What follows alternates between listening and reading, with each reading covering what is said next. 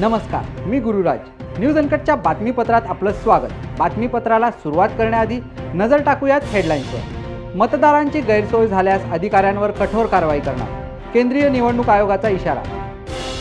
मुंबईत ठाकरेंच्या युवा सेनेचा जल्लोष सिनेट निवडणुकीत पुन्हा एकदा दहापैकी दहा विजयी. आधार आणि पॅन कार्डचा डेटा लीक करणाऱ्या तीन वेबसाईट केंद्र सरकारकडून ब्लॉक.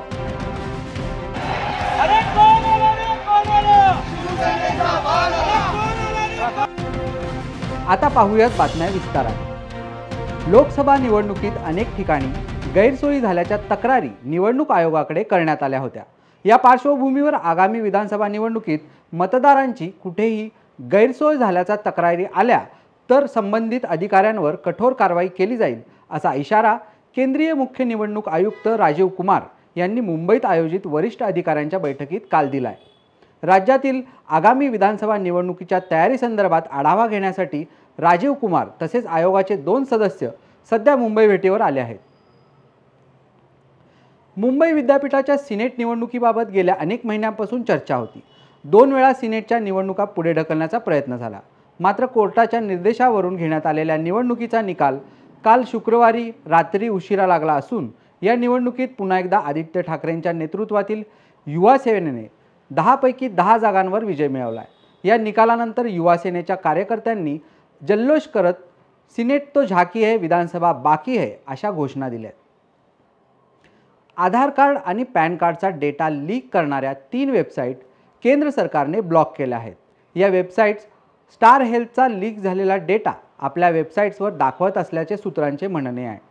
त्यानंतर आधार प्राधिकरणाने या वेबसाईट्स विरोधात एफ आय आर दाखल केला असून स्टार हेल्थच्या तीन कोटीहून अधिक लोकांचा वैयक्तिक डेटा लीक झाल्यामुळे सरकारने कारवाई करत या वेबसाईट बंद केल्या आहेत सातारचे पालकमंत्री शंभूराज देसाई यांच्या मतदारसंघात अवैध धंदे आणि निकृष्ट पद्धतीच्या कामांचा पाडा वाचत ठाकरे गटाच्या शिवसेनेने जन आक्रोश मोर्चा काढला. ठाकरे गटाचे जिल्हाप्रमुख हर्षद कदम यांच्या नेतृत्वात शेकडो कार्यकर्त्यांच्या उपस्थितीत हा जन आक्रोश मोर्चा काढण्यात आला. बातमीपत्रात वेळ झाली छोट्याशा विश्रांतीची. पाहत रहा न्यूज अनकट.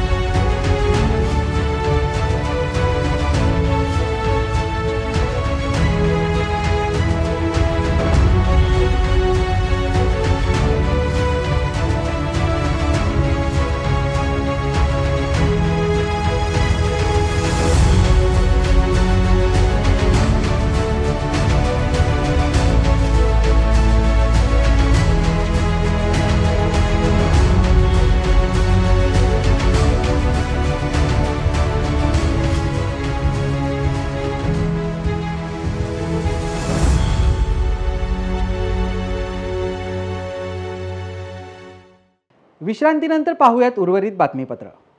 यवतमाळ जिल्ह्यातील सातही विधानसभा मतदारसंघात महिलांना उमेदवारी मिळावी अशी मागणी आता पुढे येत आहे.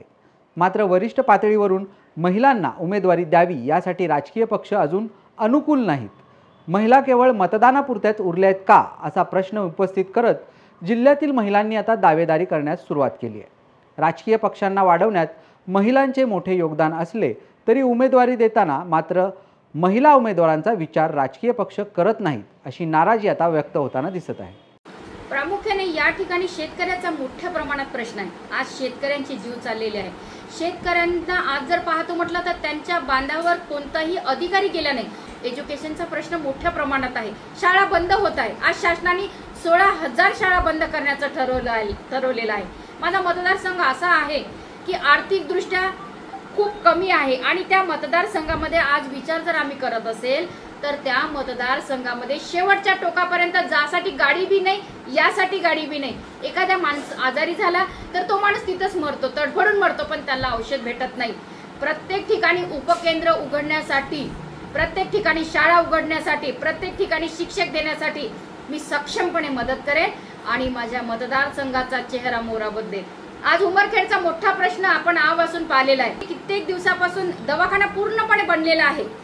पण बीजेपीच्या आमदारांनी ठरवलं जोपर्यंत फडणवीस साहेब येत नाही तोपर्यंत उद्घाटन करत नाही.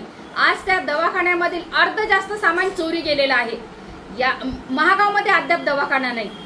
सगळे लोक दुसरीकडे जातात. मग अशा वेळेस दवाखान्याची समस्या सोडवण्यासाठी शासनाने मदत केली तर बरं नाहीतर मी सक्षमपणे या लोकांना दवाखान्याची सुविधा उपलब्ध करून देऊ शकते. संविधानामध्ये डॉक्टर बाबासाहेब आंबेडकरांनी सर्वांना मतदान आणि निवडणूक लढविण्याचा अधिकार दिला आहे.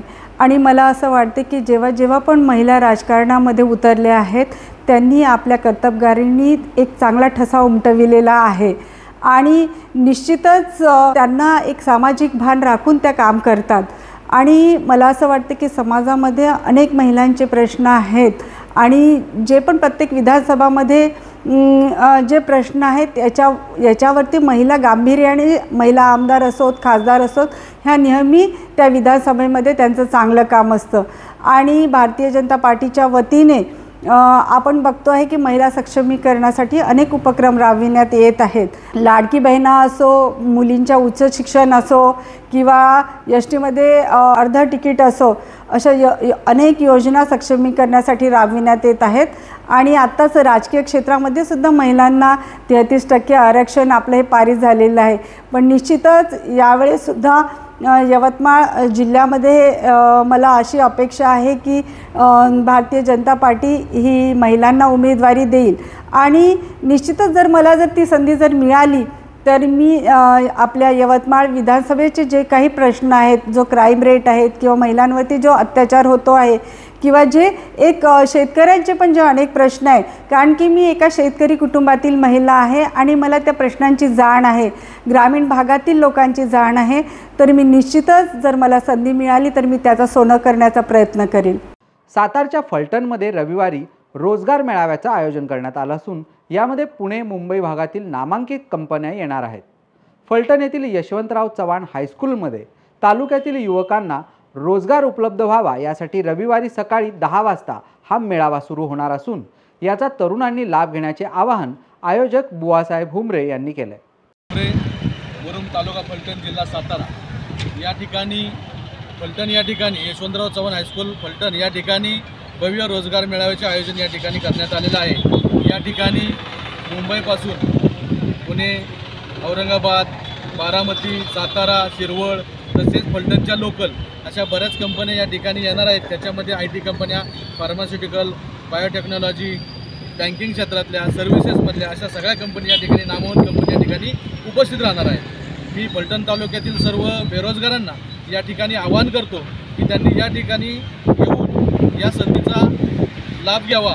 या ठिकाणी काम करत असताना किती जरी पाऊस वगैरे काय आला तरी त्यांची व्यवस्था चांगली केलेली आहे. या ठिकाणी प्रत्येकाला इंटरव्ह्यूसाठी रूम उपलब्ध करून दिलेले आहेत. यशवंतराव चव्हाण हायस्कूलच्या सर्व मंडळींनी आपल्याला मदत केलेली आहे.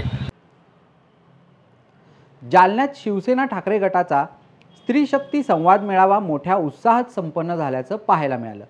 शिवसेना ठाकरे गटाच्या उपनेत्या संजना घाडी यांच्या उपस्थितीत हा कार्यक्रम घेण्यात आला असून भविष्यातील निवडणुकांच्या अनुषंगाने महिलांना दिशा देण्यासाठी आम्ही स्त्री शक्ती संवाद सुरू केल्याची प्रतिक्रिया संजना घाडी यांनी माध्यमांना दिली. निष्ठावंत शिवसैनिकांसोबत जनता असून जालना विधानसभेवर दावा करायचा की नाही हा निर्णय पक्षप्रमुख उद्धव ठाकरे घेतील. मात्र आम्ही तयारी सुरू केली असल्याची माहिती घाडी यांनी दिली आहे. हो. ताई मला काय सांगणार आज तुमचा या ठिकाणी स्त्री शक्ती संवाद मेळावा झालेला आहे? काय पहिली प्रतिक्रिया? स्त्री शक्ती संवादच्या माध्यमातून हा दौरा तसं पाहिलं तर महाराष्ट्रभर महिला आघाडीच्या वतीने होतो आहे. माननीय रश्मीवहिनी उद्धवसाहेब ठाकरे यांच्या संकल्पनेतून अखंड महाराष्ट्रभर महिला आघाडी शिवसेनेची जी कायम वाखाणली गेलेली आहे की एक सक्षम महिला आघाडी असलेला पक्ष आहे शिवसेना. आणि या महिला आघाडीचं संघटन कशा पद्धतीने सुरू आहे त्याच्यात आणखी काय मजबूती आणण्यासाठी करावं लागेल? किंवा आज ज्या पद्धतीने महिला असुरक्षितता महागाई बेरोजगारी हे सर्वच मुद्दे ज्यामुळे सगळ्यात समाजातला अफेक्टेड होणारा फॅक्टर म्हणजे महिला आहे त्या महिलांना भविष्यातल्या निवडणुकांच्या दृष्टीने काय दिशा देता येईल याकरता हा दौरा आम्ही केलेला आहे. तुम्ही तुमच्या पक्षाच्या उपनेते आहात. निवडणुकीच्या अनुषंगाने जालन्याची कशी तयारी चालू आहे? काय आढावा जालनामध्ये आम्ही आता ज्या पद्धतीने महिलांना आम्ही भेटतोय आम्ही पुरुष पदाधिकाऱ्यांनाही त्या ठिकाणी भेटलो. जालनाचे जालना भोकरदन आणि दोन्ही तिन्ही तालुके आपण त्या ठिकाणी तिन्ही विधानसभा त्या ठिकाणी कॉन्सन्ट्रेट आजच्या डेटपर्यंत उद्धव साहेबांनी केलेले आहेत. आणि भविष्यात महाविकास आघाडीच्या चर्चेनंतर त्यामध्ये जे काही ठरेल. पण जालनाची परिस्थिती आम्हाला म्हणजे इथले बडे नेते गेले असतील जे बराच काळ पाच पाच स्टम या ठिकाणी निवडून आलेले. पण आपण पाहिलं असेल तर अखंड महाराष्ट्रभर जे चित्र आहे ते चित्र आम्हाला जालनामध्ये दिसतंय.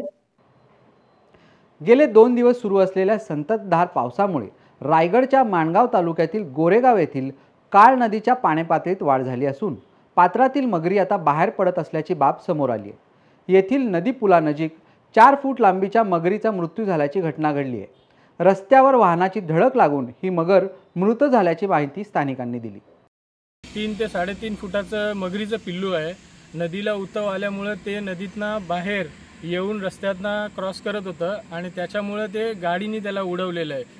आणि ह्या गोष्टीला कुठेतरी आळा पडावा टाळावा म्हणून ह्या क्षेत्राला जवळजवळ दोनशे तीनशे मगरी आहेत इकडे.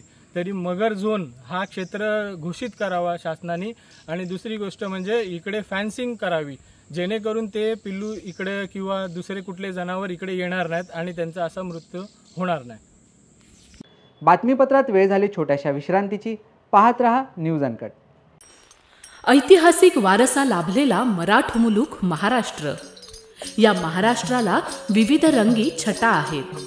साहित्य कला पर्यटन नृत्य भाषा संत परंपरा अशा विविधतेने तो नटलेला आहे. हीच गौरवशाली विविधता जपत सुवरंग मराठी केवळ महाराष्ट्राच्या सांस्कृतिक संहितेपुरते मर्यादित न राहता समकालीन नवकल्पनांवर आधारित कार्यक्रमांद्वारे मराठी मनोरंजन विश्वात स्वतःची एक अनोखी जागा निर्माण करत आहेत. मराठी मनोरंजन क्षेत्रातील उत्तम दिग्दर्शक लेखक आणि निर्मात्यांच्या प्रतिभेचा पुरेपूर वापर करून मनोरंजनाचा आगळा वेगळा रंग उधळण्यास आम्ही सज्ज आहोत. स्वरंग मराठीचे उद्दिष्ट मराठी मनोरंजन क्षेत्रामध्ये मनोरंजनाची वहिवाट सोडून रूढीवादी पद्धती तोडून मनोरंजनाचा समृद्ध अनुभव प्रदान करून देण्याचा आहे. म्हणूनच यात विविध पद्धतीचे मनोरंजक आणि माहितीपूर्ण कार्यक्रम स्वरंग मराठीवर बघता येतील. शेवटी एकच धकाधकीच्या जीवनात धांगडधिंगा करण्यापेक्षा बसूया हसूया गाऊया जगूया. नाती गोती श्रावण मोती गावामधले जीवन तरंग नाती गोती श्रावण मोती गावामधले जीवन तरंग चला जोडूया चला पाहूया जशी संस्कृती तसा स्वरंग. विश्रांतीनंतर पाहूयात उर्वरित बातमीपत्र. जळगावच्या चोपडा शहरातील नगरपालिका भूमी अभिलेख पंचायत समिती तसेच इतर शासकीय विभागात अत्यंत संत गतीने कामे होत असून सामान्य नागरिकांना आपल्या कामांसाठी वारंवार हेलपाटे मारावे लागत आहेत याबाबत प्रशासनाचे लक्ष वेधण्यासाठी चोपडा तालुका राष्ट्रवादी अजित पवार गटाचे तालुकाध्यक्ष बाळासाहेब पाटील यांच्या नेतृत्वात शहरातील छत्रपती शिवाजी महाराज चौकात सत्यमेव जयते उपोषण सुरू आहे. या उपोषणाला पाठिंबा देण्यासाठी अजित पवार गटाचे जिल्हाध्यक्ष उमेश नेमाडे यांनी भेट दिली. त्यांच्याशी संवाद साधलाय प्रतिनिधी आत्माराम पाटील यांनी.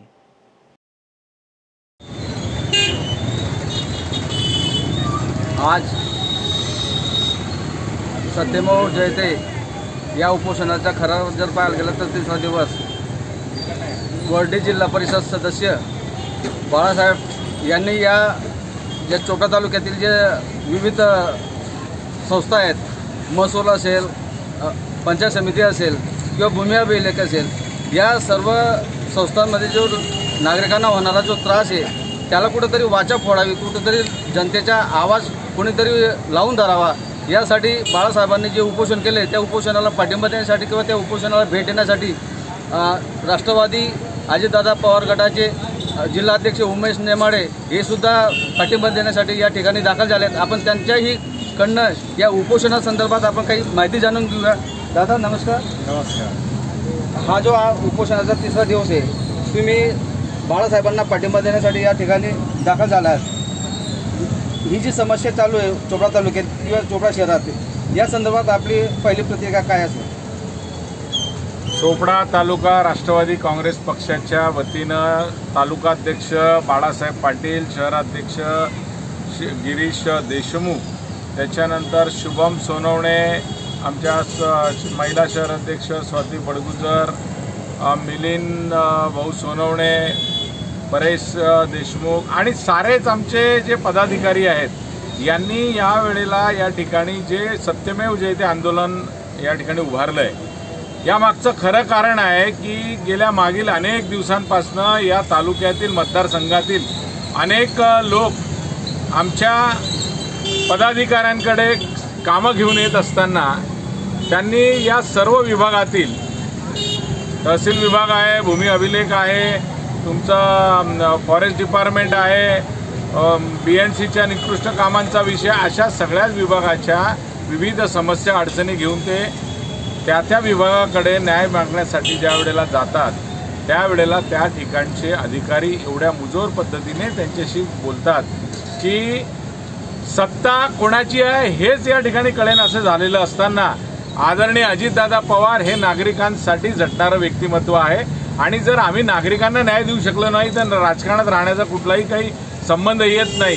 म्हणून आमची सर्व पदाधिकारी मंडळी या ठिकाणी नागरिकांच्या समस्या सोडवण्यासाठी सत्यमेव जयते या ब्रीद वाक्याखाली या ठिकाणी खऱ्या अर्थानं ज्या सत्तेची बाजू मांडण्यासाठीचं आंदोलन करत त्याचा जय झाला पाहिजे अशा पद्धतीने या ठिकाणी आंदोलन उभारलेलं आहे.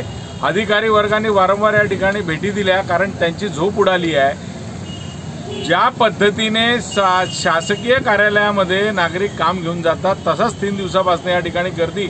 मोठ्या प्रमाणावर नागरिकांची या ठिकाणी त्यांना न्याय मिळाला पाहिजे म्हणूनची भावना व्यक्त करण्यासाठी आणि या आंदोलनाला पाठिंबा देण्यासाठी ते या ठिकाणी येत आहेत. मला असं वाटतं की या तालुक्यातील जे अधिकारी आणि या सर्व विभागाचे जे काही कर्मचारी आहे हे निद्रा अवस्थेत आहे. या आंदोलनामुळे त्याची झोप उडालेली आहे. नक्कीच येणाऱ्या काळात आमच्या राष्ट्रवादी काँग्रेस पक्षाच्या माध्यमातून या आंदोलनाच्या एक परिपाक असा निघेल की नागरिकांना न्याय देण्यासाठीचा एक चांगला निर्णय हे अधिकारी घेतील अशी आम्हाला आशा आहे. आज या ठिकाणी ते येऊन गेलेत परंतु आमच्या पदाधिकाऱ्यांचे जे प्रश्न होते त्या प्रश्नाचे उत्तर त्यांच्याकडे नसल्याने ते ना उत्तर होऊन पुन्हा अभ्यास करायला गेले आहे आणि परत ते उत्तर देण्यात इतपत सक्षम होतील. त्यावेळेला या आंदोलनाच्या संदर्भात काय तो पुढचा विचार होईल? खरं जर पाहायला गेलं तर अशीच भूमिका बाळासाहेब ठाकरे यांनी बा- बाळासाहेब पाटील यांनी जर लावून धरली तर नक्कीच त्यांना भविष्यात या आंदोलनाला यश मिळ मिळाल्याशिवाय राहणार नाही. Video journalist Atmaram Patil news uncut Chopda. सातारच्या Phaltan नगरपालिकेने वनविभागाच्या जागेवर राहणाऱ्या लोकांना आता नळ कनेक्शन कोणत्या नियमावर दिले असा सवाल करत फलटण नगरपालिकेचे माजी नगरसेवक अनुप शहा यांनी अधिकाऱ्यांना धारेवर धरल्याचं पाहायला मिळालं. फलटणमध्ये पालिकेच्या कर्मचाऱ्यांनी असंख्य बोगस नळ कनेक्शन दिल्याने सामान्य नागरिकांना कमी दाबाने पाणी मिळत असल्याचा आरोप करत महिला नागरिकांनी अधिकाऱ्यांना जाब विचारलाय. तुमच्या सगळ्याच्या वतीने मी बोलतोय. चालतंय ना? सगळ्यात पहिलं तर त्यांचा त्रास आपल्याला पारड्यांचा आहे का तर आहे. पण नगरपालिकेशी संबंध कुठे? त्यांना असलेलं नळ कनेक्शन ते कायदेशीर का बेकायदेशीर? साहेब आम्हाला त्याच्याशी काय घेणं देणं नाही. ते फॉरेस्टच्या जागेत असताना कनेक्शन मिळलंच कसं इथनं माझी सुरुवात आहे. कुणी द्यायला लावलं? अनुपशाने द्यायला लागलं का? अजून कोणी फलाने द्यावलं? घेणं देणं नाही. आता तक्रार आहे ना तर बंद करा. आणि आजच्याच बंद करा नाही तर उद्यापासून तंबू टाकणार. बसायचं ना सगळे उपोषणाला? साहेब काल आम्ही निवेदन देऊन गेलोय त्याच्यावर कारवाई होत नाही. चारशे पाचशे माणूस येत. कुठेतरी संवेदना पाहिजेत ना.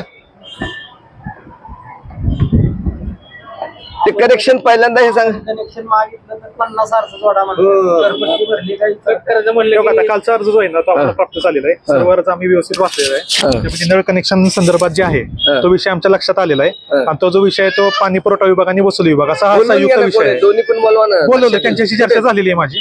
त्यांची चर्चा झालेली आहे. हे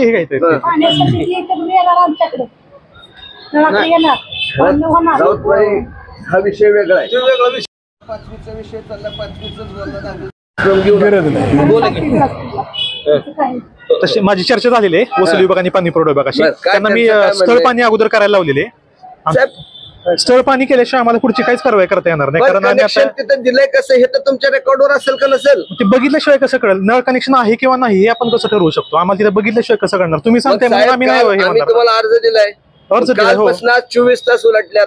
अर्ज भरपूर येतात ना. मग आता क्रमाक्रमानं म्हणजे लगेच कारवाई होत नाही ना किती प्रत्येक अर्ज अर्जावर. आले साहेब? कालचे प्रश्न बघू आपण. आमचा बराचसा स्टाफ हा निवडणुकीमध्ये व्यस्त आहे. निवडणुकीच्या पण. होणार नाही का? आम्ही इथनं हालत नाही जोपर्यंत होणार नाही. नाही असं मी म्हणलेलं नाही. नाही, नाही, कधीपर्यंत कारवाई होणार होणार. मला ठोस भूमिका उचित पाहिजे. कारवाई होणार. फक्त स्थळ पाणी कधीपर्यंत करतील. साहेब जोपर्यंत होत नाही तोपर्यंत आम्ही इथनं हालत नाही. तुमची भूमिका चालू कधी. पण नाही. तुम्हाला उद्या करा परवा करा आम्ही हालत नाही. पटतंय का?